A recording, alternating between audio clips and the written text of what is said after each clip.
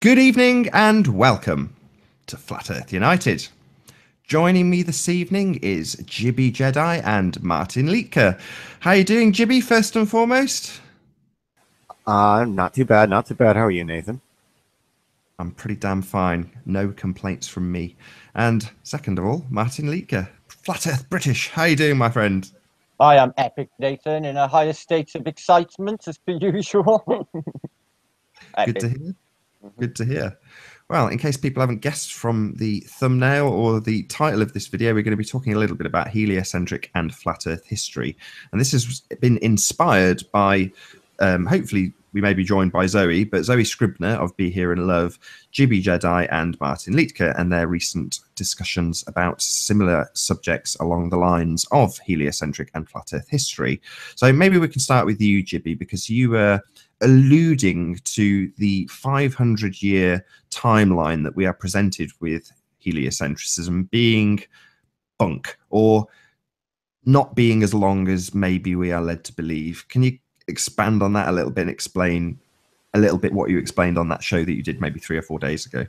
Well, I, I like to think of it in terms of relativity. Um, how old is the globe is relative to you and your location and when it was brought to your location. Otherwise, the globe, you know, it, it only has the age of what you're told it, it is. It's it's basically I could say um, there's an empty house, and then one hour later you come back to it and it's completely filled up and with furniture and it's like somebody's lived there and you say how did this happen? And the one person says oh i've been here for years. And you say no that's impossible.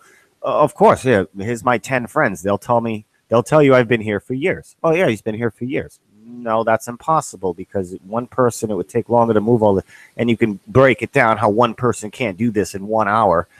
And it doesn't matter because the 10 people are all going to say yeah yeah he says it's uh it's been here for years, so that's the way it is. The majority believes it, and and there you go. This is how it's established.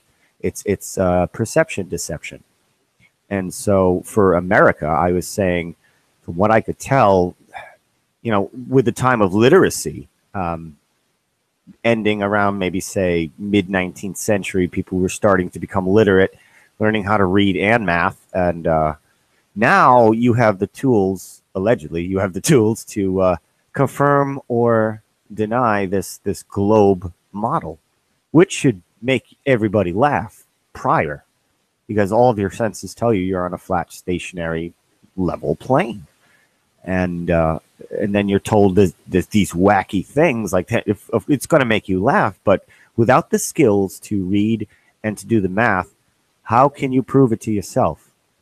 You really can't. You have to take your word for it. So this thing has never been solidified because right up until even today, there are still illiterate adults who can't confirm or deny for themselves what this is. So if you're illiterate and the majority was, how can then you you then say like this is the established model that's been accepted for 500 to 2000 years when people how can people possibly establish it for themselves when they can't read or write. Only the select few can. You, you know what I'm saying? Like, so yeah, it's so relative to me. Prior to the printing press, you've got a situation where obviously people would just take their surroundings and accept that as being the case. You may have, you know, bi- biblical literalists, but them aside, you've got people who would just, you know, look around them and just take what they see as read. You know, that's how it is.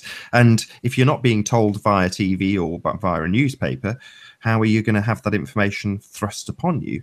So then you're left with what we have now, and we look back in history to the depictions of the globe, and you've got things like Universal Studios who know exactly what it looks like long before NASA actually go up and take an alleged photograph of it, which is in itself quite suspicious, given that TV is, as at least this panel would agree, you know, the biggest mind controlling programming tool that they have.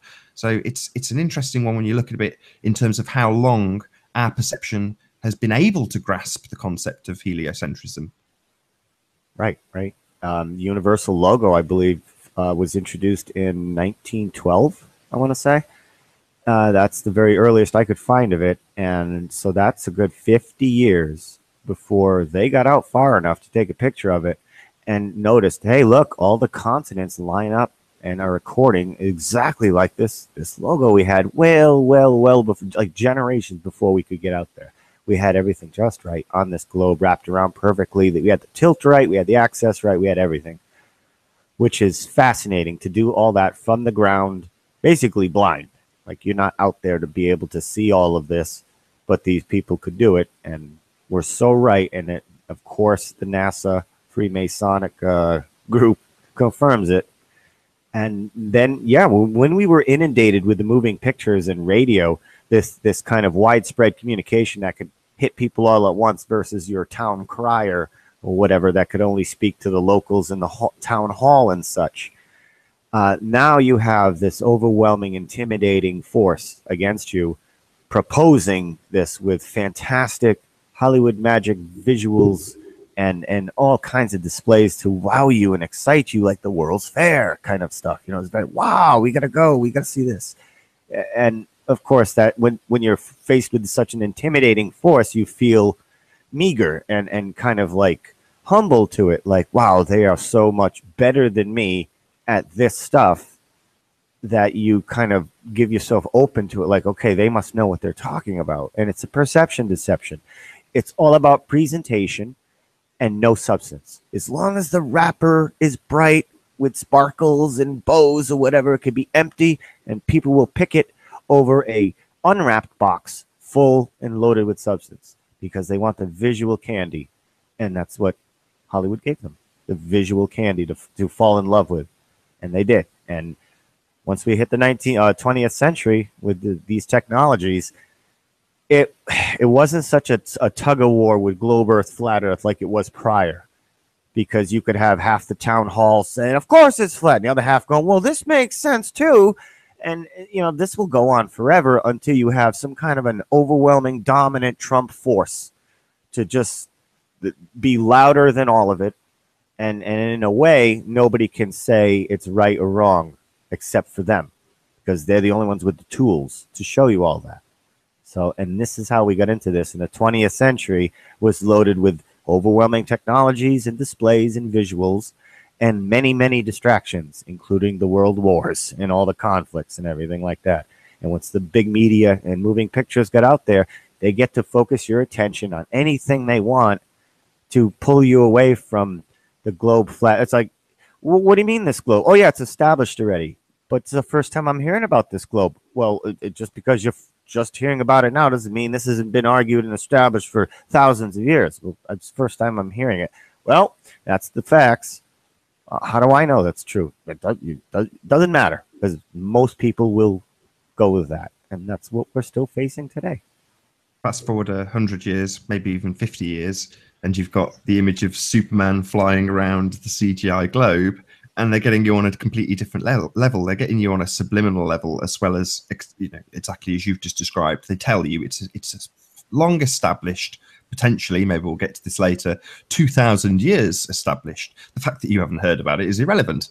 But then you go to the the theatre, and while you're being told that you're suspending disbelief about Superman flying around, he's flying around a globe, and that bit isn't obviously that's not a suspension of disbelief. That's standard accepted science. So therefore, you're accepting that part of the story while you suspend disbelief about Spider-Man or Superman or whoever else is flinging his way around the globe on that particular picture. So yeah, they've got you every which way that you can possibly imagine. And this is why when when asked if if, if I'm to say, well, which has got the most evidence and it's not in its favor, but which has got the most evidence, it's definitely globe Earth because every single way you look, there is quote unquote evidence for the flat for the for the globe Earth for the spherical Earth, and that's not to say that that evidence isn't nonsense, like Superman's flying his way around the heliocentric globe. Right you know, now you. Or some people count as evidence. You know, it's an image that's implanted in their mind that tells them where they live, and makes a justification for declaring that that is so. And as time goes by, now you're dealing with a numbers game because it's not just 100 pieces of evidence anymore. Now it's a thousand. Now it's 10,000, even though it's all fake. There's still 10,000. You know, you have the globes, the toy globes, you have the pictures, you have all these different mediums of evidence, of proof of it as time goes by. It, they'll just keep adding to it. So then people are dealing with a numbers game. It's like, well, I could probably debunk those 50 pieces of evidence, But now when you're faced with 10,000, it feels like, nah, see, it can't be fake if there's 10,000 pieces of evidence, you know? And then it's that's a mind game. That's the perception deception. It's it's all about presentation. And they're just presenting nonsense. There's no substance to any of it. I, it never was. But we were just duped by the duper's delight, just the perception deception of the of the presentation. And and most companies still do that today. They'll spend a lot of money on the advertisements and the presentations, and then you buy the product and it breaks in a month. It's like this is crap. This is this is where I'm hoping to bring Martin in. Uh, not necessarily breaks in a month, or is not as advertised. And throughout history, and this is something that Martin's been revealing, the narrative changes the history changes, the locations of items change. You know, there's all sorts of things that they're not necessarily completely hidden, but they aren't made prevalent. You know, they're not part of the narrative that these things have changed. Maybe, maybe you can fill in the gaps in that bit, Martin. I can give you many, many examples, Nathan. But um, Jibby's right on the money uh, with all of it, you know. But as far as I can see, it's it's quite simple. It's the grand deception. It's bigger than anybody could imagine. It's all aspects of our life. You know, you, people they're using um, academia, or if you see the television um, science people, they'll hark back to ancient Greece So Aristotle sticks in the sand or what have you for an excuse. Now, in my mind, I think that they have written a history um, relatively recently. They rely on the oral traditions to die out over a generation two, which is what happens and word of mouth just gets skewed over time anyway, as you know, down the end of the queue. And um, they rely on that and they hand us um, the model, which was that globe. They hand us the history, so that's Vikings, Normans. But um, unfortunately, the evidence that they give us um, it doesn't fit with the evidence uh, on the ground.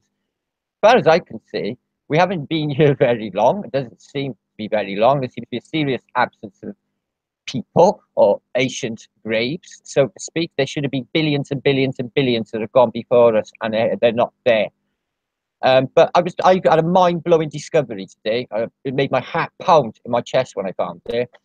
Um, but I'll get to that a bit later. But you know, I'll give you an example. The old inhabited city on Earth, Damascus. They will tell you you can go to that city and find way over two thousand years of, um, of buildings inhabited there, right there today. Unfortunately, if you go on Google and look for a map of the place, 1400, they don't exist. 1500? No, not really. Any?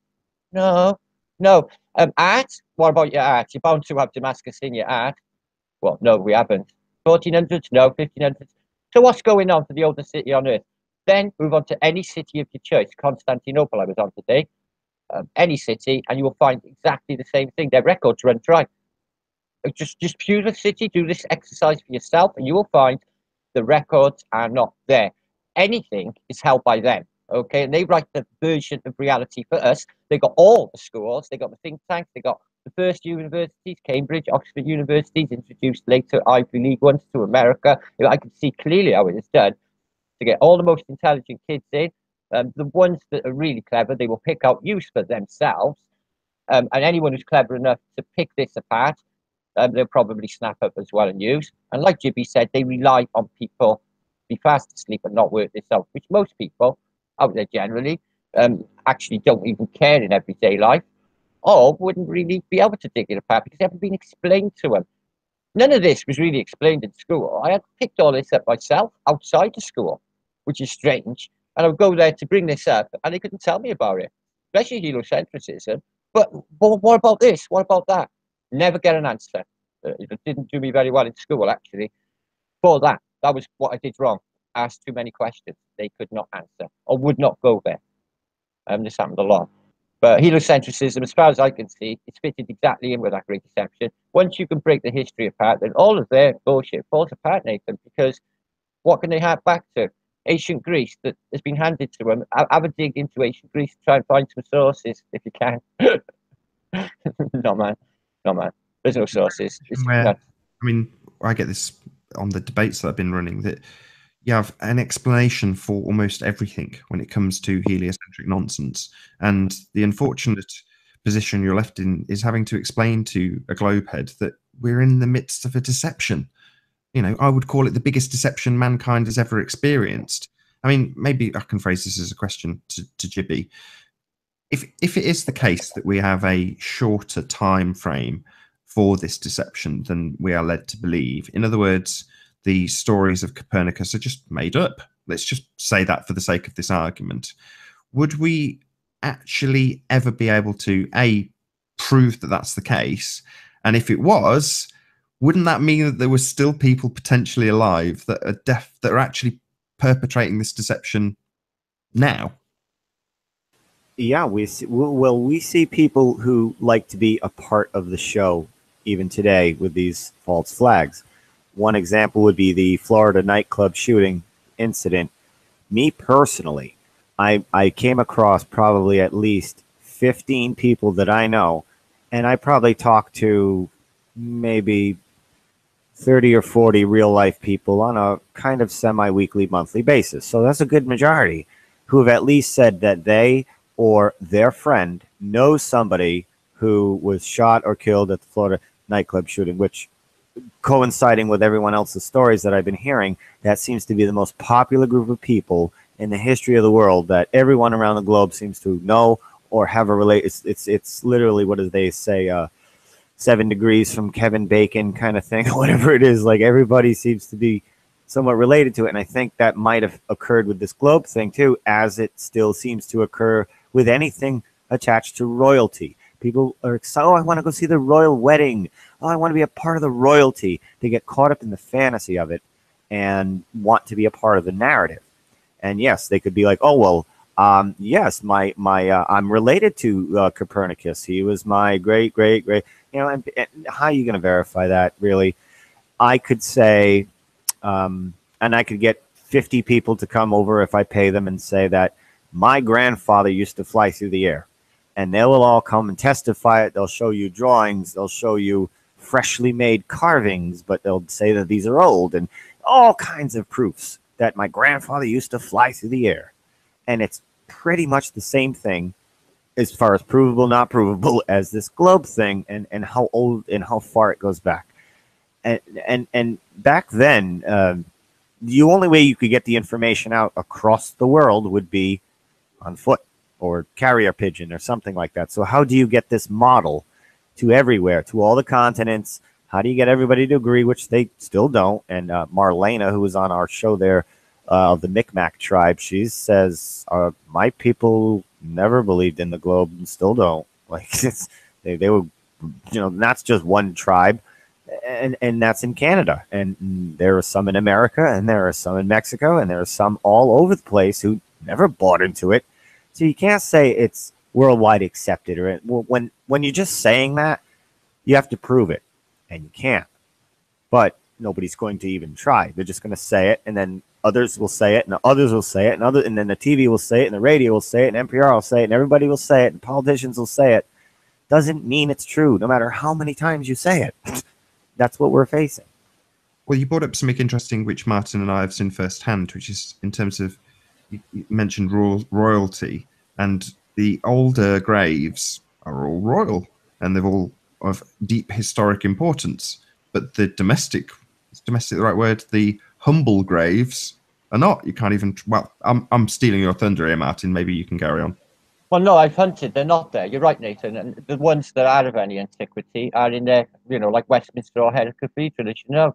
But it is, it might be this bloodline. Like you're saying, the perpetrators, they might well be alive or their descendants, their closest descendants. It could be. It could be that much of a deception in that close a time span, and nothing would go past. I wouldn't put anything past it at this stage. Something is drastically wrong. Why would they Photoshop Victorian photographs? Why are they skewing Dickensian era? Is beyond me. There's something really sinister in that alone. Um, and the absence of uh, dead people. Um, you go to a local graveyard, you can't find nothing previous to 1600 in, in any graveyard. Put it down to poverty, not having enough money. It's rubbish. I went to the cathedral where the money was for my country, where any nobleman would have been buried. There was nothing, nothing until 1800. What did that, I, that be... Martin, was it 1100 that we saw the earliest grave in Hereford Cathedral? Yeah, yeah, yeah. Apparently, yeah. Apparently, uh, well, no, later because um, the Mappamundi date is 1190, um, so it would have been 13th century. There, there was um, a, literally a, a bishop, um, an, a bishop in there, um, who's actually in the John Speed map, which I've got down by there on the floor. Um, but funny you mentioned the printing press, that's part of it. I researched that recently. Now, what do we go on? Official contemporary narratives, don't we? So that's the Caxton Press, isn't it? So what proof we got for Caxton Press? Well, you can actually go and visit it. Well, that's actually a bit of an alarm call for me. And the first print of it, well, no, no. So I think there's something going on with that. That might have been initiated at a completely different time or just whenever they told us. Um, and as for the maps, like you say, they were brought in by that cartographer, John Speed, who I've been researching for, Elizabeth I. She gave him a literally a custom house. Said, go print maps and get them out to the masses. And these John Speed maps, first time 15, 1507. Okay, just after apparently um, 1607. I'm very sorry, but um, just after Elizabeth I's father, apparently disillusionment of the abbeys and the Reformation of the Church um, and the Enlightenment, all in this narrow time span. And when you dig into that narrow time span, you're trying to make sense of it. Like Jibby said about him digging up DNA. To prove the Plantagenet um, dynasty existed, aka Henry II of Agincourt or Richard III the Crookback, they literally dig him up out of a car park in Leicester and find a relation of his in America to say, oh yeah, there's a DNA match here, a relative in America. Richard III existed. Voila. See what they do? Yeah, it's a magic show. They're, they're pulling things out of hats. Yep. Any subject, begin. It's not just the heliocentrism, Jibby. Name a subject. Um, tectonic movement, glaciation, um, uh, topography. Just name a subject. Delve in and see if what they're telling you is true. I tell you what, it ain't. And like you say, they, they back it up with years of maths. Martin, it's it's worth giving the audience per, perhaps a bit more meat to the Mappamundi narrative because for me that's kind of a flat earth proof because you're in a position okay. where Jibby described it as like the town crier, but that would be the metaphorical equivalent because they carted this thing around in they had all sorts of different boxes for it, you know, this this map. And what you've got is a flat depiction of what they categorically tell you is everything, the whole world. Now, Martin's going to hopefully grab down his Mappamundi and, and, and show what we're talking about. But it's minus, in again in quotes, the new world. You know, there's no Americas on there. But that is what the people who are telling the peasants, this is where you live. This is all of it. And what do you know? There's land missing off it. But up until you know that was about like you say martin about the crossover point that they started introducing according to the current narrative that would be the point that they were introducing um, heliocentrism as a known fact you know and according to even you know different slightly different narratives they were so aware of it back then while they were punting the Mappamundi because 2000 years ago they had sticks and shadows and knew it anyway you know again no photographs at any stage at this point but they know and they're showing people the Mappamundi. It makes no sense. The story, the timeline doesn't add up, basically. No, it's fabricated. The past is fabricated. And the more you dig in, you find this. And when you go to these places, you can find this for yourself. What has happened, I can't really put my finger on it, but something has. and and it's, it's in a narrow window of time as well. All of it. All, all of the, you know, the, the stories, you, you know, you can even think um, if you've got to interpret the Bible stories of the Old Testament and all that, all of that into this narrow window also. All of it, all of this pre-flood civilization and the existence of the civilization before, they've been trying to eradicate, and it is there. I think it's probably more. There's more buried in the in the deep um, rain rainforest and such. Low. Uh, and what we have on display are rebar uh, reconstructions of. Well, that's part of the, the, the muddying of the water, so we don't find out, Jibby. The, the, the, megalith era, we did not snap our fingers one day and say, I know, we're all, we're all over the plain at exactly the same period, decide to move huge blocks of stone we can't possibly move and hew them with chisels made out of copper, apparently. Apparently mankind did this. Right, we didn't. The megalithic era is a con. Hew the waters to add longevity to this timeline. Just think of that demonic death, um, Dawkins, with his selfish gene. This is how he explains it. He says humanity has been here as long as this, uh, this little fingernail by the end of my nose. And these, this line here represents the epochs of time that we've been here. And this little fingernail at the end of my nose is humanity. This is the Thean, the, the length of time. Same with the distances of the stars, Jibby. They had but it's not. It's not that at all. It's more compressed, and it, the evidence is there. If you can just um, just accept the deception, it's total. You know it's a big impact, and people can't think like, you know, with the heliocentrism lie as well, and everything else. The history is a fabricated past, and all the sciences they taught us. It's pretty bullshit. Really, if you dig into, you know, sonic movement, do you buy the way they explained that and volcanicity? Do you think volcanicity is the reality the way they explain it? Have you witnessed this action? What about glaciation? Have you witnessed that influx? You know, there's a lot when you dig into it, you find there's an absence of, you know, an absence of the proof. So, check, just take it. Glaciers, Martin. Hmm. I've seen plenty of time lapses. Are you saying So the I. time? So have I. But what I'm trying to say is you will see them in flux. You will see that what they will say is a valley left in Wales is a glacial valley that deposited stones like sandpaper across the landscape. They're not there now. They said they got rid of them in the 1600s by lighting fires under them and smashing them up and getting rid of them. This is historically sort of put into the narrative, apparently. So these valleys were hued by glaciers. Unfortunately, you can't see this in action. These ones you see in time lapse, they're literally, you can't see the whole thing because apparently that takes eons for it to carve this valley or an ice age. But you can see it move and calf and fall into the sea. But you won't see that valley being literally the last bit of that glacier disappear into the sea and that valley's being produced looking like it does as a glacial valley in Wales. It's not the same. Just look into it. Honest, big alarm calls for glaciation. And it's something they push heavily. No, you're right. I mean, it's like I say, immediately I thought, well, no, I can challenge that. But th- that again sends up red flags, doesn't it? Why is it the case that I know about glacial movement? I shouldn't know That's that. right. Well, I, I've just been sold a narrative too. But like I'm saying, Nathan, like like Jibby said, you know, they, they, they sell you this and they just hope you won't look into it or think too much about it. You know, the information is there to be selected, but like, you know, they back up all this information in data you couldn't possibly understand or, you know, with the heliocentrism and, and relativity physics, a, a mountain of what? Calculus. How many of the population can read calculus? Not many.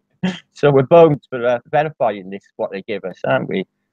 So and it's the same with all of it and the past as well. I don't buy that one bit. Sounds like it all came out of a handbook to me. Have you have you ever played uh, those role playing games where you can pick the time period to experience? Like I have a couple of like say pirate games. Only Where- here with time traveling fantasies.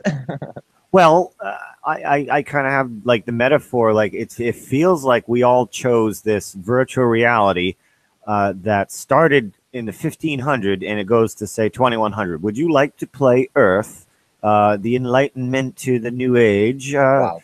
you know, and and boom, we're here. So Mhm. everything prior to 1500 is the fabricated, and we're just working along here. It is almost kind of like that because you just start, and it's like, well, I don't, I don't remember anything prior to this. Well, where is it? It is You know- spooky though, uh, Jibby. It is actually spooky. I'm not just being like, you know, chucking it out there. I've really, really dug in for years. And I've worked on this stuff. I've worked with stonemasonry, archaeology, um, on the buildings. And it's see, I've got a feel for this stuff. I've seen a lot of this stuff on the on the ground. Always had questions with the timeline. I brought it up since the beginning of the flat earthers. Something's wrong with the timeline. Um, but when you when in the last, you know, with this clear vision that I've managed to develop, with being a flat earther, I've managed to be able to absorb incredible amounts of information. Um, I found a key. And when you dig in, you find the past is not there. It's very sketchy. Further back, no. Even they want bits of the past. Even they want it. I, If I something shows up 1600, they want it. yeah, Very and- notable concept though, isn't it? He he who controls the past controls the future, basically. 100% Nathan, bang on. Yeah. And I brought up like how um, how most people's family, personal family histories only seem to really go back at best to say the 1600s. At least everyone I've spoken to, regular folk, uh, they've dug into their family histories as best they could, and mine only goes back to maybe 1712. Uh, what's that there? I want to show you this, Jibby. You're going to like this, my brother, and I know you will. I know you really like this, okay? All of you might, because you're an American, and I know you like your music, okay? That's my grandfather, okay? With the um, jazz legend. Do you, do you recognize him?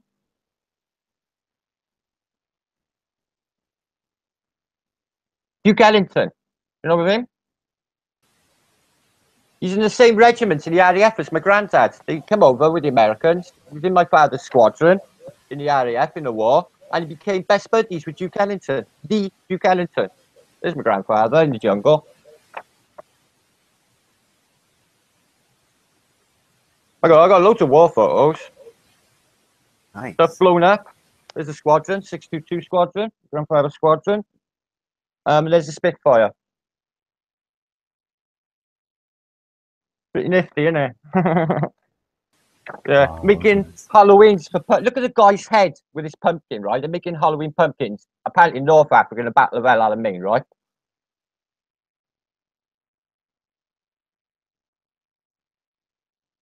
Yeah. Freaky, isn't it? And there's the one with uh, Duke Ellington. That's my grandfather next to him there. Freaky, innit? Hmm. But that's tangible. Go further back. I was going to say to Jibby, you know, going back to 1700s, that's pretty good to go back that far with your family timeline. That's amazing, in fact. It took a lot of time, and we only recently just got to the maximum um, distant past. Probably within the last two years, my cousin went to the Azores to had to dig this up because that's where my family's from. Is the Azores? no way. Mid Mid Atlantic, the Azores. Yep, yep. Uh, San Miguel is where my grandfather's from. So we went there and we found his sister that he never knew uh, because they were separated and he was sent to America. She stayed there. Um, found her family and went into her records and the and it's all in Portuguese, um, which Yeah. we were you know some of us speak it, I don't. Um, so I had a hard time going through all that paperwork and uh, I just went through it maybe two months ago. So yeah, we go back to about 1712 or so. That's the furthest back our records go. So I wondered, like, maybe this phenomenon that seems to be occurring with everyone's personal family history, not going back thousands and thousands of years, like the royals or even some tribes. Uh, could we have all been maybe burned out of where we were established by the governments over time and lost all those records? I'm thinking maybe that's a possibility too. Um, things would have been flammable, or if you have to pick up and run, you're not grabbing a bunch of stone tablets and running with them or whatever, you know. But Oh. this was the kind of thing, at least in America, where uh, the pioneers would settle. Here comes the government. Nope, you guys have to move. We've been here for generate. Too bad you have to move. Yep, that's it. If you don't move, they burn you out. And you, the same thing befalled the American pioneers, it befalled the Indians, except they were, of course, much well, the Native Americans. I have to get out of that habit. Yeah. um, but yeah, they chased everybody away. The government, as they manifest destiny uh, all the way across, is kick you out, kick you out. We own this, we own that, burn you down, burn it out, and then your records are burned. And They do it. yeah, but there should be still more personal records going back thousand, two thousand years or more. There should be some doesn't- somewhere. They should be somewhere. But Yeah. there's just not. There's no lineage. The lineage ends. Even this is what's suspicious to me. The SS um, used to use a program to choose their people, right? But they only chose the records back as 1742 or somewhere in that region. No further back to find out if they had any Jewish heritage. Don't you find that a bit of an alarm clock? Why not a generation back? Isn't a generation back there? Really weird. That was reading I that. don't have an answer to that, but I do have a question which is revolves around some of the maths or the extrapolations that I've seen going backwards, where they work the numbers back, and it seems like we'd get back to just a couple of people in a much shorter space of time. I mean, that's Hmm. kind of kind of spurious because I don't necessarily buy the current. Well, the time, the time is a part of it. Look, did you when they switched that uh, right on the advent of the 1600s, when we had a tsunami hit Wales, when this John Speed map was were introduced to Britain, right? They um, oh god, it's, they introduced the Julian calendar into Gregorian. But did you know the Freemasons and the royal family? They're still on Juliana, which is why the Queen has an unofficial birthday, an official birthday, which is the Juliana calendar birthday, um, and a Gregorian calendar birthday, which is her normal birthday. So that's why she has two.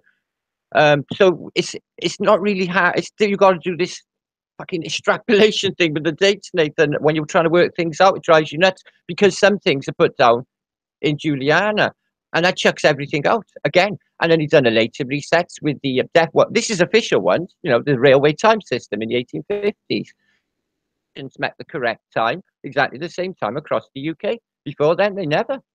Um, and then later on, then GMT, Greenwich Mean Time, set the meridian for the whole of this heliocentric model. It all couples in straight to that and the history. Once it all falls into place, you know this shit went down. okay, you just do. It's a Well, grand deception. This comes back to Mappamundi again, because again, it does. showing the prime meridian going straight down through Jerusalem, and now it's Greenwich. Exactly.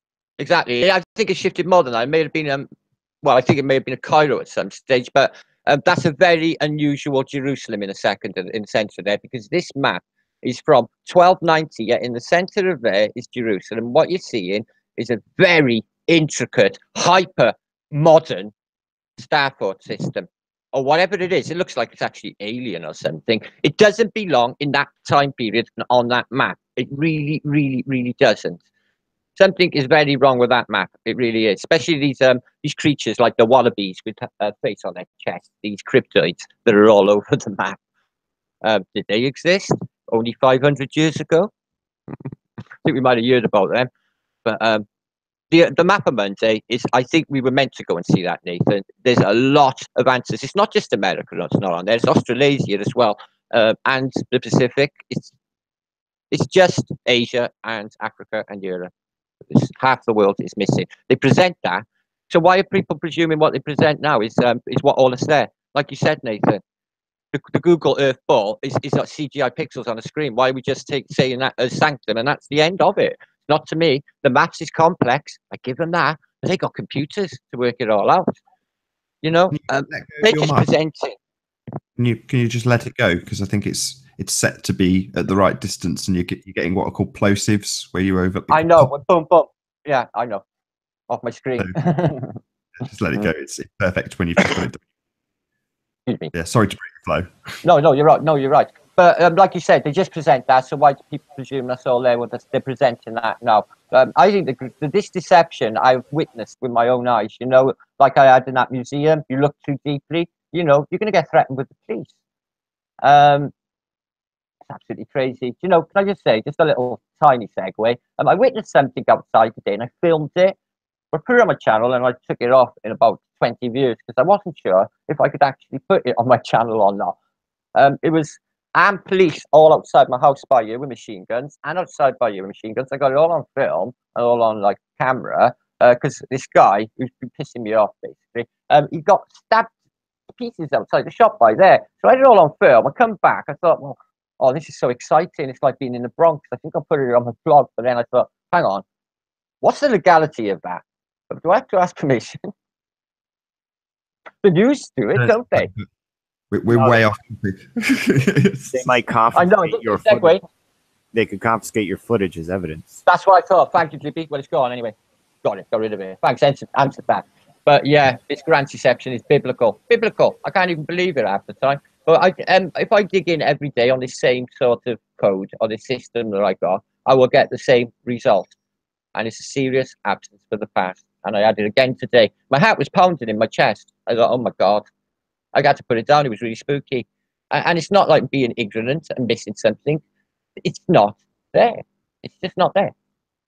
There's a wall, a white wall you can't pass, and they put it there. There's, there's nothing beyond it. What has happened? I can't imagine. Really spooky and unnerving as well. Some of your videos, and we discussed this the other night, Martin, was you were often putting up pictures and you were kind of describing them as though they were photographs. And I said, I don't know if it was in your live stream, but I said, well, these are just sketches. You know, they're very, very intricate pencil sketches.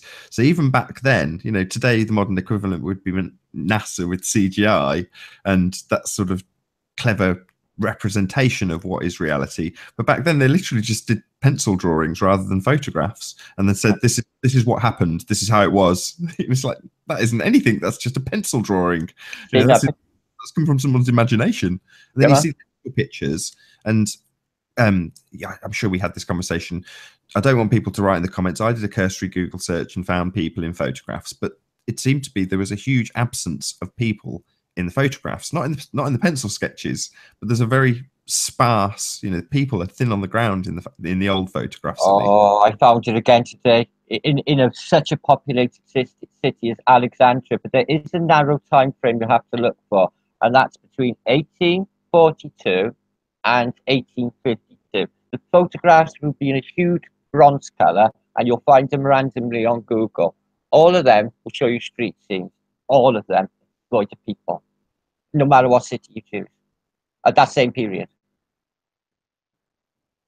London, a most populated by the photographer. They picked a time that they didn't want any people, but you know, it's one of them.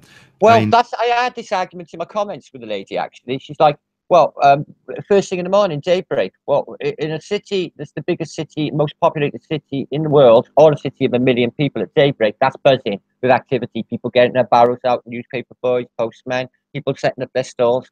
That's a busy time.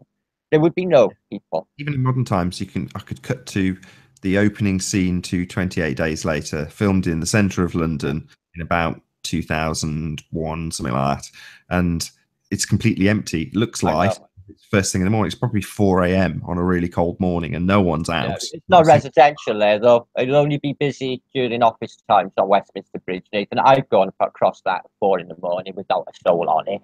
It's, nobody lives there. So, you know, the office people. See it at nine o'clock is is bedlam. But no, it's always dead around that area, Nathan. Always. In, in in London. can, can give you back in at this point and say, well, you, you've had so many debates with people like Charles, and you're debating about things like Copernicus and that timeline. Now that we're questioning it, do you, with plenty of knowledge of that timeline, think it's bunk? Think it's true? What, what's your take on it? I think it's I think it's stories from the royals. I think that that's like the king's decree. Yes, uh, these this is this is the history. Go spread this out to the vassals, and and they have to accept it because that's the king's decree. It's one of these things. Like that's their uh, entitlement of uh, what they say is truth, just the way we do it now with the TV. No matter what the TV tells everybody, they take it as the word of God. Um, it's just another version of it of the royals' uh, decree. Uh, It's he makes his decree across the land, and this is now the new fact.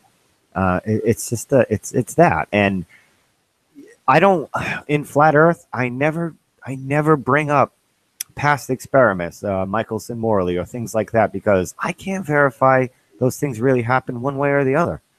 Um, I'm only working with what I I can put hands on and show people what they can put hands on for themselves. But otherwise, we're just hearsay.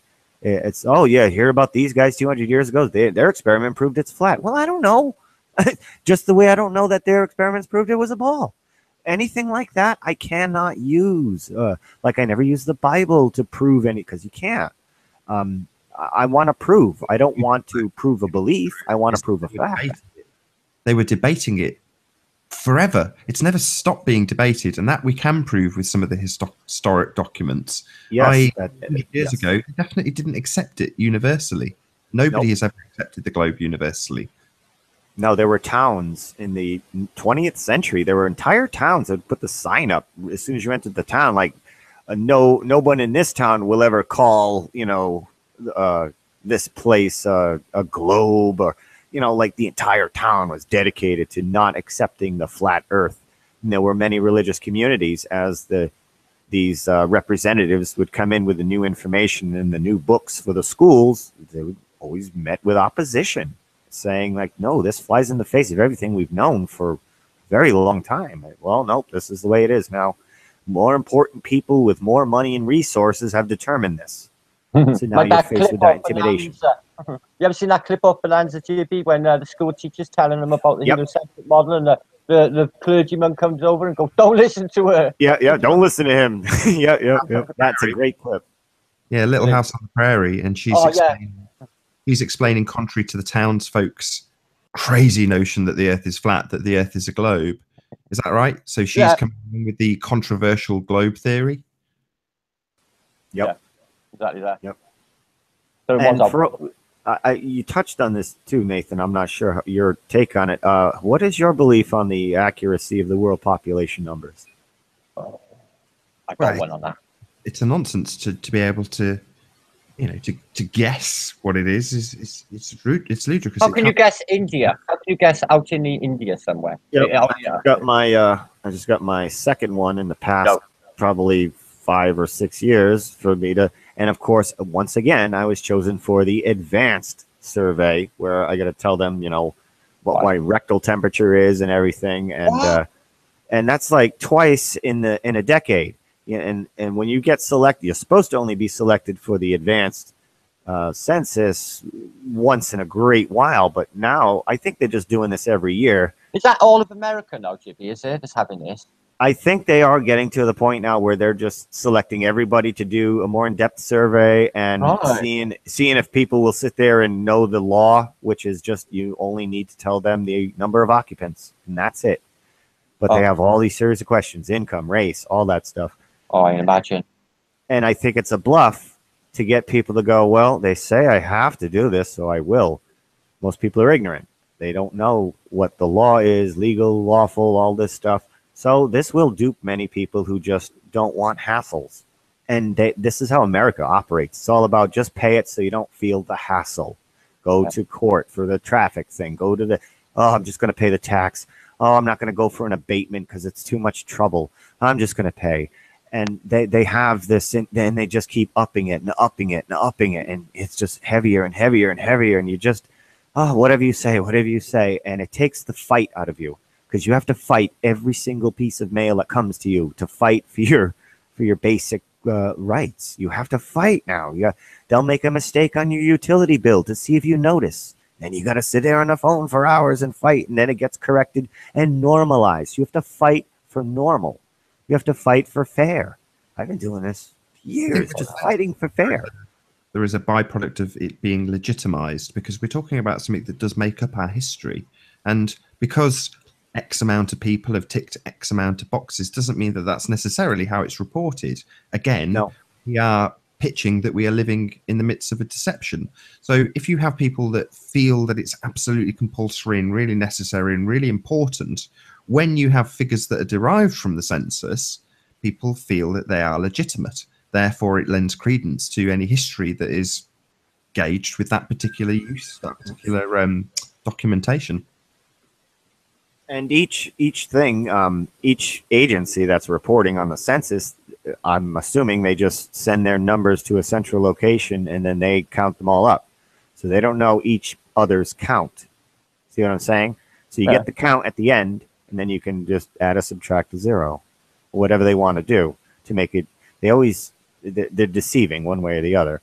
I think the world population is much lower than what they say. I think you need to take a digit off Yeah, and then too. you'll be more accurate. And I, I always cite the Georgia Guidestones from 1980.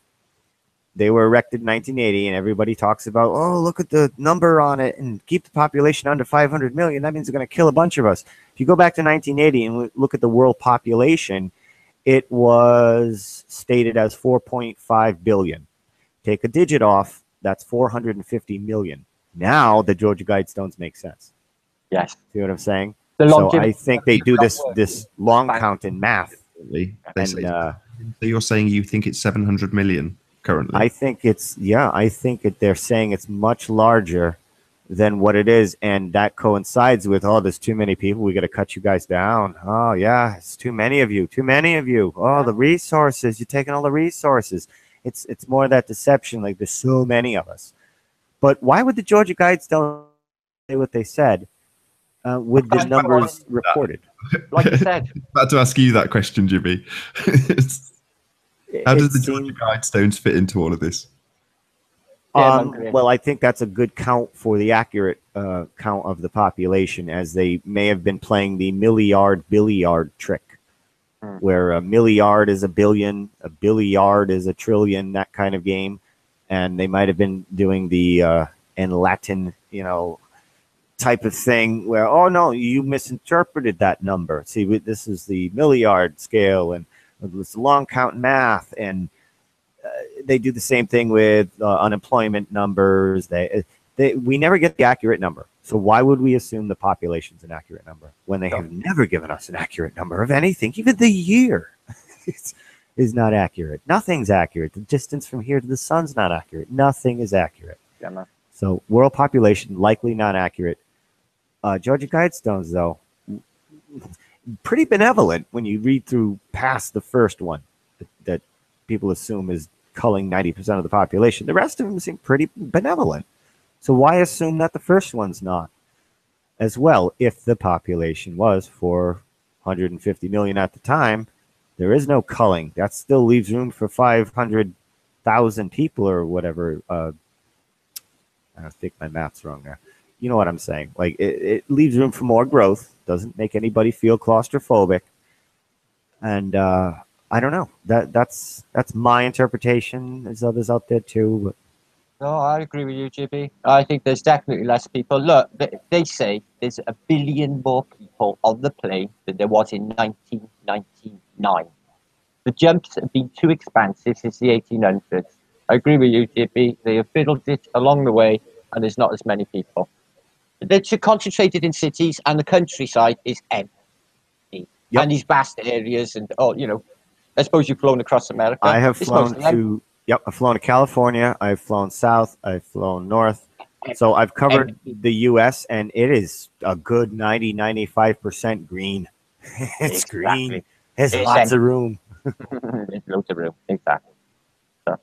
Yeah, I can Yeah, concur. Whenever I flew, that the, the land is sparse of people. You know, there's there's very little populated areas when you're flying over vast expanses of land. You, fly over Europe and you think it's all going to be farmland, and it's not. You know, lots vast swathes of it is unpopulated. Right, Yeah. but they want to control. They want to get their arms around, you know, their herd. No, they don't want to get them too far spread and too settled and this that, and plus you don't want them discovering or stumbling upon things that might reveal a new truth or an old Mm. truth. You know what I'm saying? They always got to keep a scare tactic at play. Like, you know, I always thought the Georgia Guidestones might be, you know, a dialectic to sort of unnerve population to think they might be cold somewhere along the line. You know, they used like, you know, remember the ozone layer? And then they miraculously fixed it, you know, chicken licking the skies falling in. And then it moved on to um, what? Um, some greenhouse gases, okay, CFCs. Then they sort of fixed that miraculously. Then they moved on to now climate change. You know, they keep got to have this chicken licking thing and they keep developing it and they just dump it, move on with the next without even telling you how they fixed the last. Remember Right. the ozone hole? Just let's just forget that Big Brother style, shall we? 1984, like it never existed.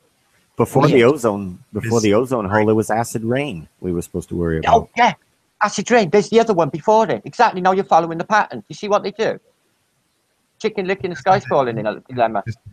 Is very conducive to fear-based mind control, and that you know the Bernaysian way of of controlling people and programming their minds is a very recent thing. So it's just kind of stand to reason that this might be much more recent than we let on, and that for me ups the excitement level because it's a sh- if it's a, a shorter time frame that we're talking about like i said earlier we could potentially have the deceivers very much amongst us you know. That it might not necessarily be them that started it but it could be their son daughter granddaughter you know. We're talking shorter timelines. We're talking the six degrees of separation the kevin bacon game that we mentioned earlier. We could Oh, be a lot closer to our deceivers than we think. And if that's the case it's not if it's not as system based as i have currently sort of alluded to me or my belief being yeah. you know long established and in the systems and the education system that's why it's perpetuating itself. But it might not be the case at all. It might be like all the other false flags. It's just still in motion still the bullshit's being um, created. And that could be why we are kept in this small corner of the internet. We're here you know divulging the cracks in the heliocentric system for them to be smeared over again for maybe only the third or fourth time in 100 150 years maybe as opposed to 500 to 2000 years. Yeah, well summed up. Exactly that. it seems uh, in in America, it, flat Earth, globe Earth was still alive and well, very strong, probably till the 1940s, 1950s, in newspapers, on the radio. Then we have the world wars. Now our our priorities have to change. We don't have time for a meeting of flat Earth debate. Basically, is is the mentality at the time. You have to donate your chocolates and your nylons to the you know and your steel and and we got to help the war effort and that's how it was in America. It's just the propaganda, Same, yeah. propaganda. They put propaganda in Bugs Bunny cartoons, and it's just so you constantly. And then they put the globe in the Bugs Bunny cartoons. He throws the ball, and it comes back the other way. And so they were sticking the propaganda in your basic fundamental children's cartoons to get it to the minds of the young and new generation who was not aware of the flat and the globe debate. So it's a whole new thing where now, as the children are watching the cartoons, that they feel you know, embedded subconsciously, like, oh, this globe has already been established. It's even in the cartoons. Like it's it's just the way it is. So to, the, to that generation, it's absurd to, to argue about it at that point. But you'll have the older generation, the World War One generation. Ah, it's all crap. Ah, it's nonsense. The Hollywood. It, ah, it's nonsense. And we thought those old birds were crazy. Far from it. we we often on these videos will joke about having the globe from cradle to, to death and normally it's the example of the mobile with all the planets on it but my kid listens Yes. to nursery rhymes and the current raft of nursery rhymes have been adapted with heliocentrism so you've got three blind mice and instead of having their tails cut off with a carving knife they're flying off to the moon in a space rocket and i'm singing along to this nursery rhyme you know three blind mice and suddenly the lyrics change and it's going to the moon. I'm like, what? Wow. you know, heading literally my what is she now, 15 month old child, the notion that going to the moon, it being a physical object and being able to travel to it and it being away from the spherical earth is embedded before she can even speak. Just phenomenal. Wow. Yeah, because the spheres and the stars are solid objects in the cradle, in the crib, going around and around, and they play with it, and it's a ball, it's a sphere. These Yeah. planets, and they love selling you the stickers and the little things for the and very heliocentric things for your child, for your baby, in the crib. So With it's already embedded mind. the imagery, Yeah. and like Marlena, uh, the the native Canadian, Yeah. was saying, um, children can communicate with you at two, three months old through sign language. So they're in, in taking lots of data, and they can't speak yet. But if you you know make the hand gestures, yes, you can communicate with your three month old. So they are intaking all of it, all the imagery on these tablets and everything, which is another that's a whole other conversation. But uh, all of the imagery they're taking in. So to tell them none of that was true, it, it just rivals every single fiber of their being and will produce that anger reaction. It's like, oh, what? you know, which is what we experience all the time here. They do. People have seen it as a crime in the past, though, because I read that Shenton book. Um, I actually done a little bit on my channel. Um, he just focuses on the, the education system in about 1907, and he said it's just fraught with deception. They're just teaching the kids utter lies. Um, and is it a crime? You know, he's like literally think this is a criminal act at that stage. But I don't know that I was book fared in that day and age, but still around now. Good little read. Um, you know, he's a flattist. They were called flattists back then. it's always a name, a label. Mhm. Uh, you have to demean them. Yeah. Exactly. I mean, I did Really mention this, I interesting. don't know if you touched on it, but I know David Weiss released a video where there was a billboard, coincidentally, as we've had the billboard out in Raleigh today, um, but literally a anti-globe Earth billboard back in the 1900s. Did either of you two see that? Yeah, man, I've seen it. I got to I- I actually did not. pictures of it. Yeah, it's to do with Blount. Um, she took there was like literally on the streets in New York with um, with um, well, they had globes on sticks, and they were like, "This is fake," and they would just flat earth um, banners as well. It was absolutely epic. And one in the streets up on the building in New York as well. This was in about 1912 or something like that, just before the First World War. Incredible to be doing it. that was back at a time where all of our voices were equal, pretty much. And then now you have the radio and the television establishment and the moving pictures, which were owned by them. That's the loudest, most prevalent, widespread voice now that will trump all those speaking of flat Earth, the truth. And that's what took over in the 20th century was that loud, powerful, dominant voice. It's the globe, and here's the imagery constantly everywhere. And that's really what turned the tides towards the globe. So they've only really had, I would say, like advantage globe, maybe 60, 70 years. That's it. And we're starting now, right now, after 60 or 70 years, which is pretty much almost the whole time of NASA, waking up out of this this dream, this fantasy illusionary reality. Yeah, try and So- dig in into like go into like Victorian, maybe early as you can, um, to see how you know like the way that it's high end brainwashing with the Globe programming. How how high end high end was it in the 1800s? Because I don't think it was as prevalent, you know. I just think that it was in their school books. They were questioning it. Um, they never had cinema, television, radio wasn't into, you know conceived to the turn of the century, so or, or a little bit earlier. But um, I don't think they um, had the same brainwashing, so I think they were definitely outside of it. I think we've gone backwards a bit as well, you know, because their Oh, handwriting was beautiful and their creativity. And look at us now, big nasty corporate buildings, our handwriting's like crap. The literal works are rubbish compared to the literal works of the mid 1800s. It's ridiculous. that, the, you know, the way we changed humanity, you know, the dumbing down has been massive in the last hundred years. It has. It has. They've been relying on people not waking up. It's this, the internet, the greatest library on earth at our hands. And with a critical mind and discerning mind. The, Well- if you if you measured the IQ of the children 100 years ago to now, it would not even be. It, it would be like going against apes. Uh, with the children going against apes. I, I no, actually, I, I I stand corrected. We did go against the apes in memory tests. It was on ABC News as video clips on YouTube. It was a memory test, computer screens and and clicking on numbers in numerical order, and the apes kicked our ass. No Literally. way. They kicked our ass. They they wiped us out because if you got it right, you got a treat. Uh, the humans and the apes got the treat, and they show you like you know the apes get it right, and they'll flash and they'll try to trick them, only show partial numbers, and you got to get them in order. And the apes got it right, and the people couldn't even come close. Couldn't even come close. So if intelligence is based on the ability to memorize, we've already been conquered by the apes because they've got us blown away on the ability to memorize.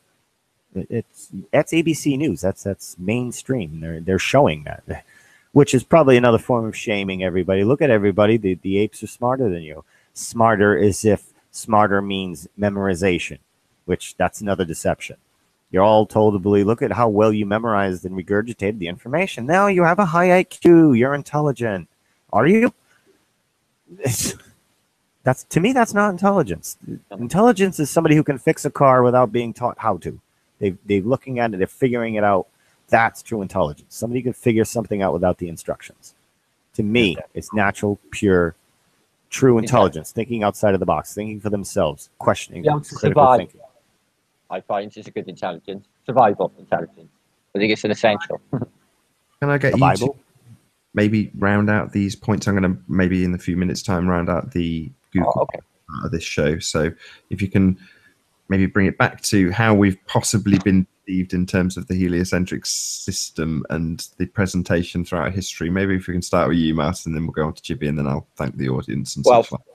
Uh, For my mind, it's easier. Um, it was easier put in than uh, you could uh, imagine because they have all of the education systems, the religious centres, no matter what denomination. If it's one all-powerful um, controlling entity or parasite or whatever they are, and they have all of the universities and all of the schools, so whatever is handed to us is by them. And isn't it not conceivable that they could possibly rewrite things for their own ends, corrupt men? Yeah, it is conceivable. So that's what's happened. They rewrote history, they rewrite records, all like the census that Jibby's been doing, or any birth records or any records. Full stop. Go somewhere, don't they? Yeah. Well, they go to them. And do you think they're just standard, or do you think they may be altered down the line? Well, they can do whatever they please. So, from my mind, we haven't been here long. The fa- past is a fabrication, and they have altered everything to fit it. And when you dig in, it is there. It is there. Spooky, but it is there. It is there.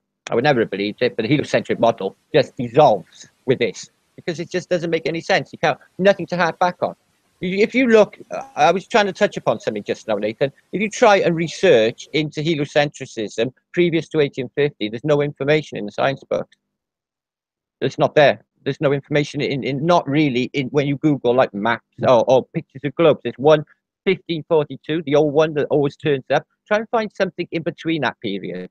Not that many there, and they're in dealers' hands or in sort of museums like the Smithsonian or what have you, but none out there. You think you think if it'd been around that long, they would have been en mass. No man, they ain't been around long at all. at all. I'm telling you, Nobody was literate, really. nobody was literate, brother. This is uh, certainly what you're looking into on your channel. I positively encourage everyone who's watching this to subscribe to Martin Liedtke, aka Flat Earth British. Can we get your take on it? Jibby? What, what do you think? What do you think the history has been fudged? How has it been fudged? Why has it been fudged? Well, we we're not going to know the whys until we get them strapped to a chair in interrogation. But to me, in America, from what I'm seeing, this flat Earth, globe Earth, only took kind of a kind of a shadow position around the 1950s and till probably early 21st century when flat Earth started to resurge. Never really went away, but it was only very small pockets of people because of it, it, it's basically who's louder than the other and the voice of the people were being trumped by nasa and the television and the radio and the propaganda from the government repeatedly um, because they own all those mediums that we don't have access to so we can't grab one of them and be just as loud like say have our own channel the flat earth channel on television. It's not going to happen. Well it should. We should have that right but it won't as 9-11 in, you know investigation channel will never happen or things like that. So they control that loud voice. But now we're using one of their mediums the internet um, we're connecting but we're not really getting to that volume level where we can say it's still flat you know like it's just globe globe globe globe. We're getting there. And now with the media explosion probably this weekend will be a big media explosion uh, for flat earth which will bring a lot of attention to it. And i have no idea where it's going to go but in america it seems like the globe has only had advantage for probably 70 years really. Other than that Ill, Ill, illiteracy um, prevented people from being able to prove it one way or the other. And illiteracy has only been a thing probably 150 years on average in america. So this globe is not even close to how old they say it is. By far Yeah, I mean, I remember back in the days when I first started looking into this subject, it was presented as a non sequitur argument from the debunkers and globe heads. If you were to say that NASA are faking space, therefore the Earth is flat. But from my perspective now, I'd say that that's actually not a non sequitur argument. If what you observe in your reality is flatness, and the only thing that's debunking that is fake pictures from a nonsense agency like NASA, then you can still safely assume that what you're seeing with your own two eyes is actually factually the case. So anyway, with that, I'm going to say a huge, massive thank you first and foremost to all of the people who have joined us in the Google Plus live stream. So be sure to like, comment, share, and subscribe. And a massive thank you to first again Jibby Jebba, Jibby. Get my tongue around it. Jibby Jedi, thank you very much indeed for being here. It's been a pleasure. yep tongue twister thank you nathan thanks for having me and also Martin Liedtke. It's been a real pleasure having you here. Hopefully, you can both hang around a little bit afterwards for the after show in the OBS stream. But it's been a pleasure having you here, Martin. Oh, yeah, it's always a pleasure. Thank you, Nathan. it's been awesome. Stuff. Once again, if you are new to this channel, be sure to subscribe and hit the bell notification icon to keep up to date with the Flat Earth debate, the Flat Earth video logs, and the Flat Earth group shows and interviews. I've been Nathan Oakley. I will see you all in the next video.